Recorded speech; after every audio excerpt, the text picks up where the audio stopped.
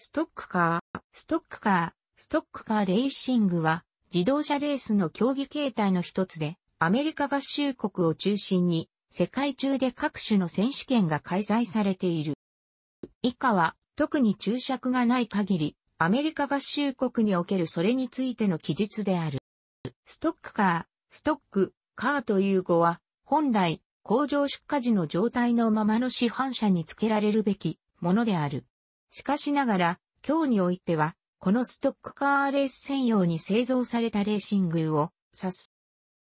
1948年にウィリアム・フランスシニアによってストックカーの一選手権としてナスカーが初開催されるにあたり、出場車両に対して一般市場で500台以上売られた市販車種をベースにしもので、改造は一般的な自動車部品販売店で入手可能な部品を使用したものに限るという条件が付けられており、FIA 規定で言えばグループ A に近い性格の車両であった。多くの場合、参加するドライバー自身が同時に車両のオーナーであり、改造や整備を手掛ける本人でもあった。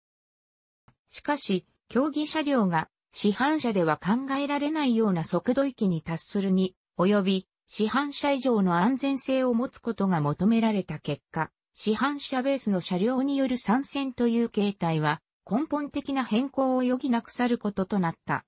1970年代になると、ストックカーレースで使われる車両は、レース専用に作られた市販車に似せたボディを被せるという形態へと変化していった。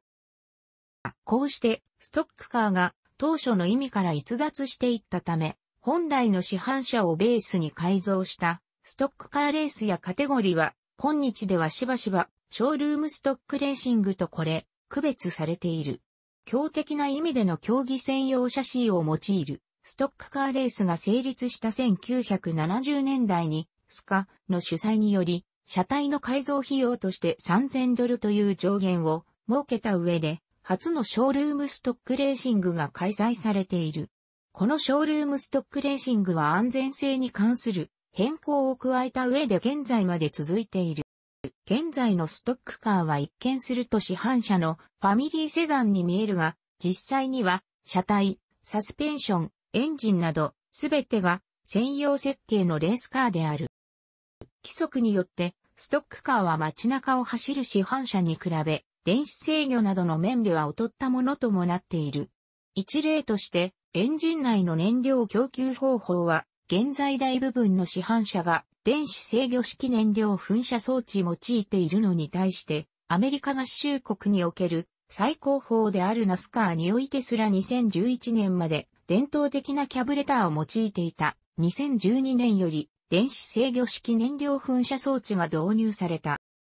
なお誤解されがちだが、厳格な規制で同一条件に近づけられているだけで、シャーシは必ずしもワンメイクではない。特にナスカー3大シリーズのような注目度の高いレースでは市販車に近く、かつ魅力的なデザインである必要があるため、各社にボディラインの違いが見られる。空力、足回りなどについても同様に開発が可能である。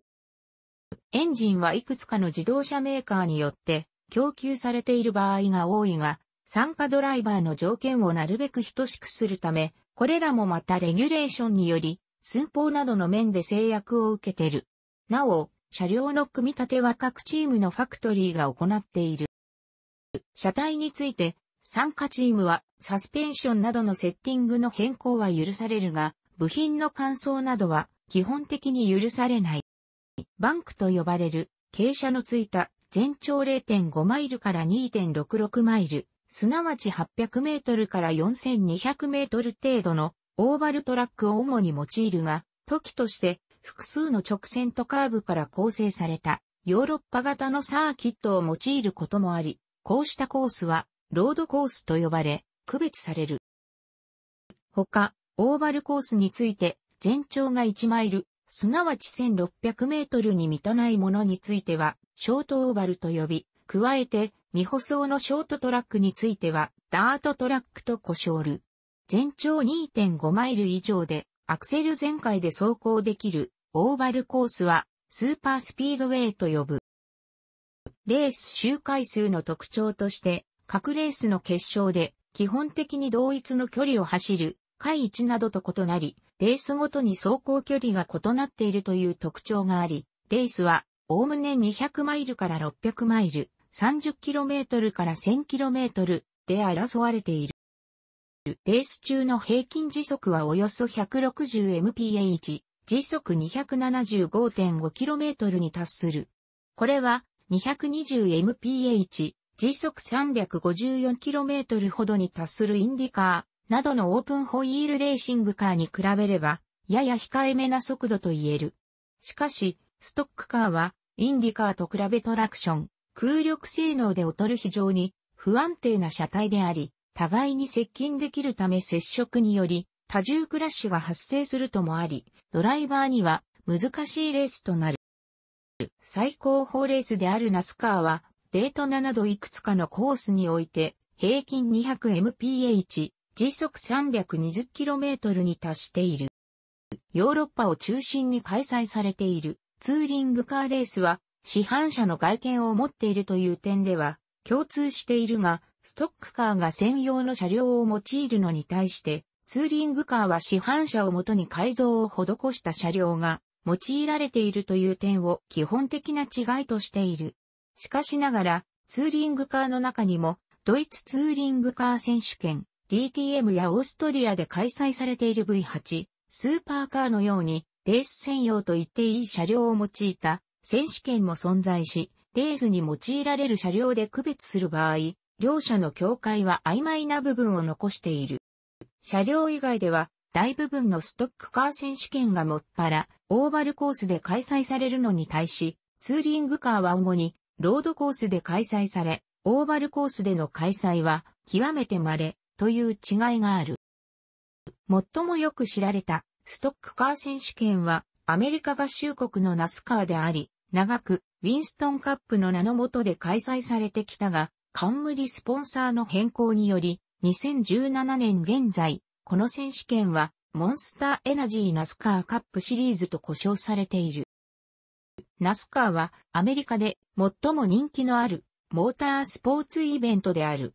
1997年には延べ600万人もの観客を動員しており、各レース平均では19万人以上の観客動員を記録したことになる。中でも最も有名なイベントは、フロリダ州のデートナビーチで毎年開催されているデートナ500である。ナスカーはトップカテゴリーであるカップ、旧ウィンストンカップ、ネクステルカップ、スプリントカップのほか、エクスフィニティシリーズ、ピックアップトラックを用いたキャンピングワールドトラックシリーズ、さらに地域ごとに展開される多数の買いカテゴリーを有している。先に挙げた1997年には本選手権のウィンストンカップにブッシュシリーズの観客を加えると観客動員総数は800万人となり、これは同国のオープンホイール選手権であるインディカーシリーズとチャンプカーが同年に記録した観客動員数の合計400万人のちょうど倍ということとなる。2002年にはアメリカ合衆国において同年最も観客動員数の多かったイベントの上位20イベント中7イベントをナスカーの各レースが占めた。テレビにおいても視聴者数で上回ったのはこの年は FIFA ワールドカップだけであった。ただし、これはアメリカ合衆国、ナスカーについての事例であり、アメリカ国内及び国外の他のストックカー選手権は必ずしも成功しているとは限らない。これについては口述する。日本でも1996年、1997年に鈴鹿サーキットショートコースでナスカーサンダースペシャルが開催された。ロードコース開催も初めてであり、雨でレインタイヤを履いて水しぶきを上げて走ったはナスカーの歴史においても特筆すべき出来事であった。また1998年、1999年にはツインリンクモテギでオーバルコースを使用してナスカーコカ・コーラ500として開催された。ハリウッド映画では米国俳優トム・クルーズ主演でデイズ・オブ・サンダーが作られてレーシングドライバーとして成功する過程が華々しく描かれているが彼を一躍有名にしたトップ画をなぞったようなストーリーであった。ナスカー以外にも、アメリカ合衆国以外の国、あるいは地方も含め、多くのストックカー選手権が存在する。アメリカ国内だけでも、アーカ、アメリカンレースカーアソシエーション、ASA、アメリカンスピードアソシエーション、アサル、ユナイテッドステイツオートレーシングといった団体が各種のレースに選手権開催認可を与えており、これらの選手権で修行を積んだドライバーがネーションワイドシリーズやクラフトマントラックシリーズなどにステップアップしていくことがセオリーとなっている。ストックカーレースは世界的にも展開されており、主にアメリカ大陸で成功が見られる。カナダにおいてはが国内選手権を一つ、地方選手権を二つ主催しているが、これは比較的短いオーバルコースを用いたものである。2007年にキャスカーはナスカーに買収され、ナスカーピンティシリーズとして開催されている。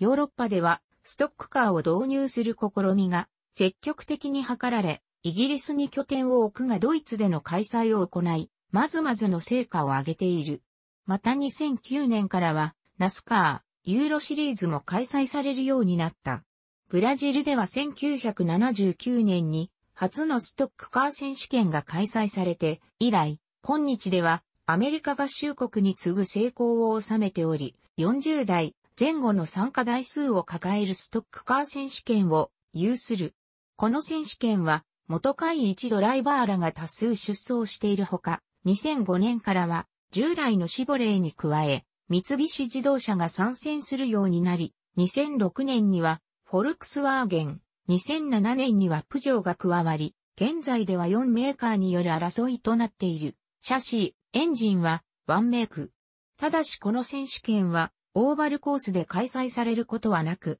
その意味ではツーリングカーレースに近い。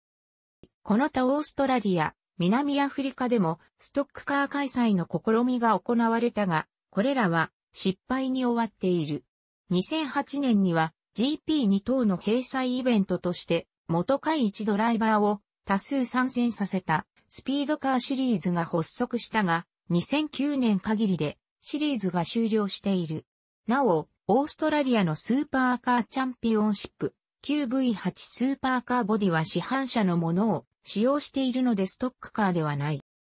日本では1963年、昭和38年に日本国内におけるナスカー格式のストックカーレースを開催することを目的とした日本ナスカー株式会社が時の建設大臣、河野一郎により設立され、その後1966年、昭和41年に日本ナスカーを引き継ぐ形で、河野洋平により、富士スピードウェイが建設されている。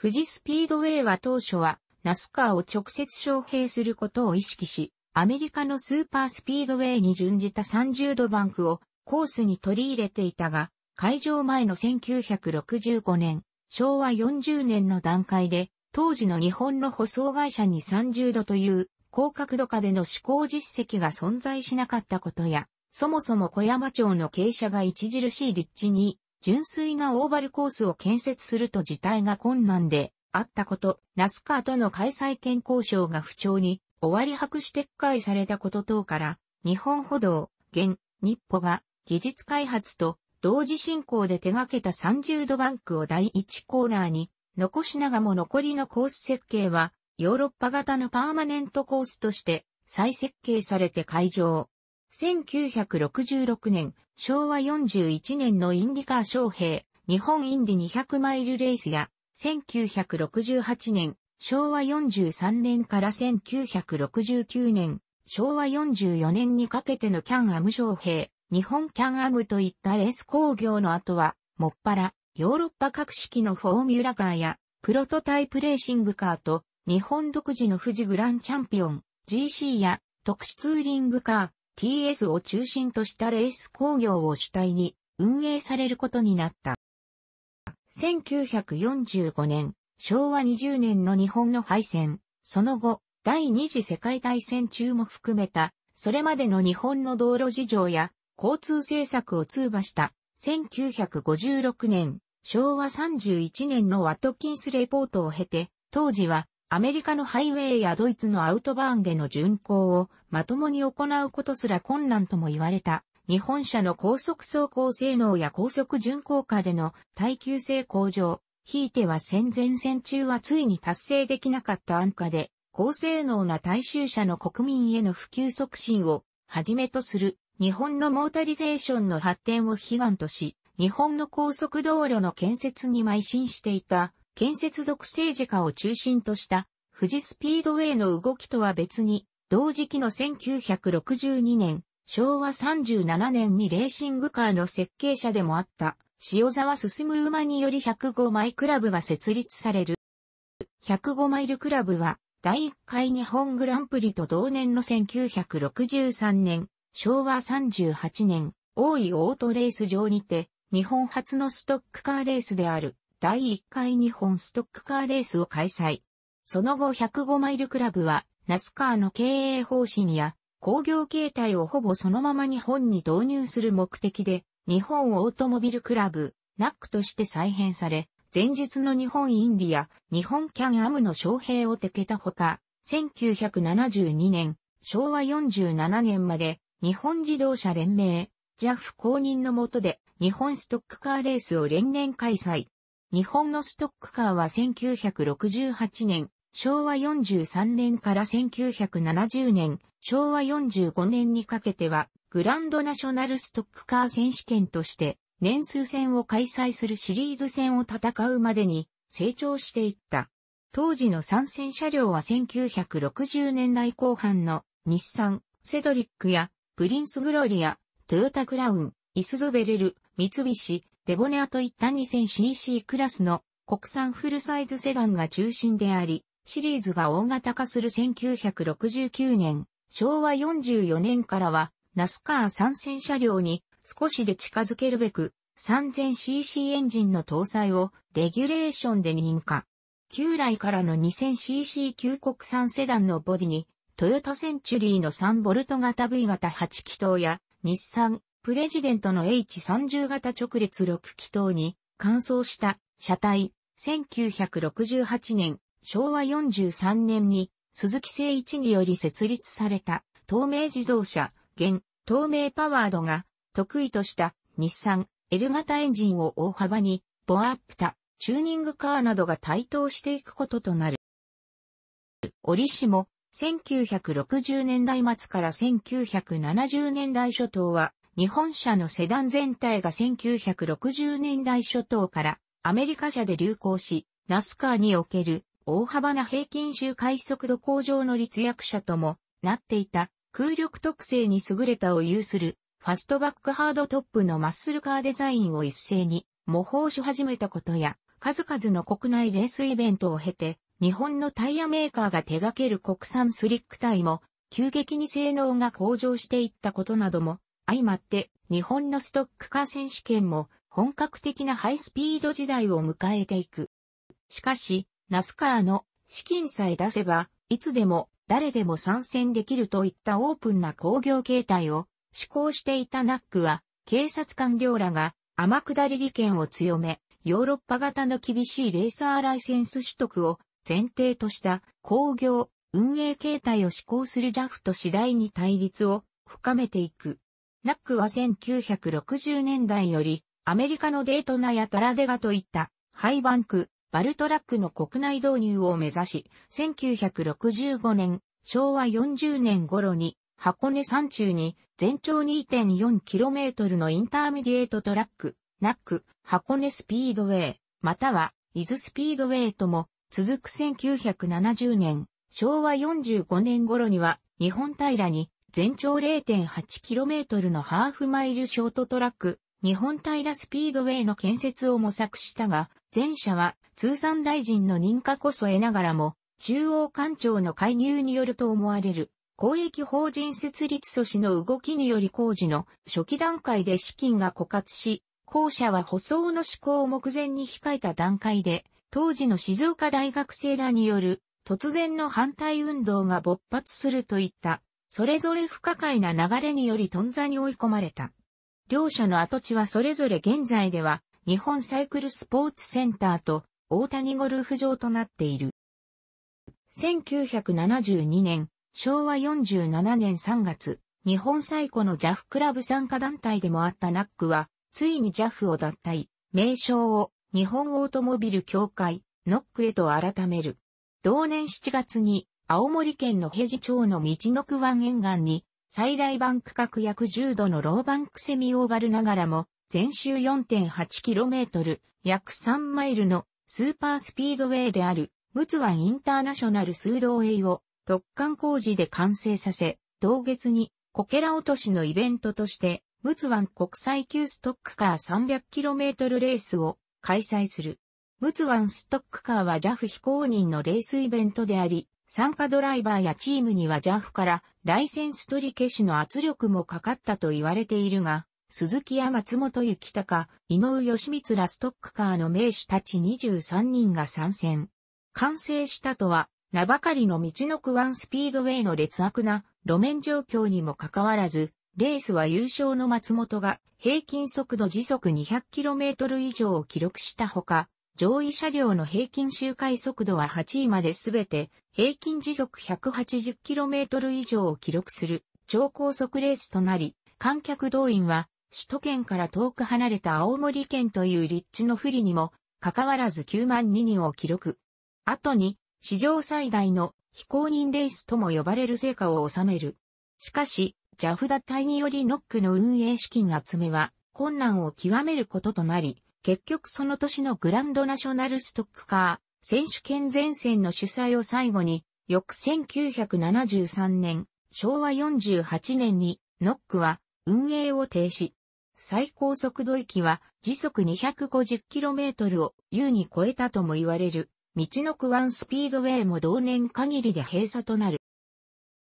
その後は、塩沢進馬の弟である、塩沢三号夫が主催する JRSCC により JAF 公認のストックカー選手権が継続されるが、オイルショック以降の日本車が、それまでの大型のアメリカ車の模倣からより小型ヨーロッパ車の模倣へと車作りのトレンドが移り変わり、自動車排ガス規制の強化とその後のターボチャージャーや DOHC を用いた比較的小排気量の高出力エンジンの普及により、構造が単純でプライベートチューンに適した L 型をはじめとする自然吸気の大排気量エンジンの入手が次第に困難となっていったこと、1980年代にはヨーロッパツーリングカー選手権 ETC に、ンタグループ A のシリーズ戦や、プロトタイプレーシングカー、フォーミュラ1をはじめとする、フォーミュラカーへと日本のレーシングファンの思考が変化していったこと、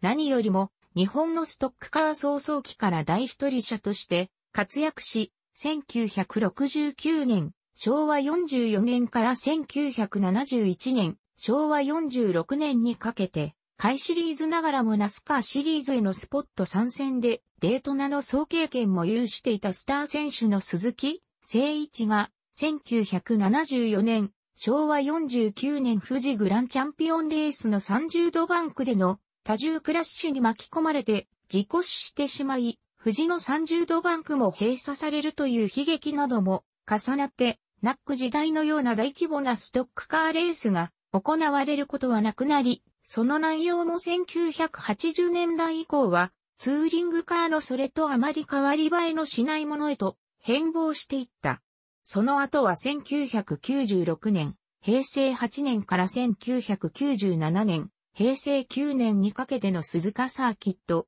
1998年、平成10年と1999年、平成11年のツインリンクモテギで、ナスカー昌平、ナスカーサンダースペシャルなどのイベントが存在したものの、同年を最後に日本でのナスカー開催は行われることはなくなり、同じアメリカ流のオーバルレースであるインデジャパン300も2011年、平成23年を最後に打ち切られ、JRSCC も2008年、平成20年に活動を停止したことにより、モテギというオーバルトラックが存在しながらも、事実上日本のストックカーの歴史は途絶したまま、現在に至っている。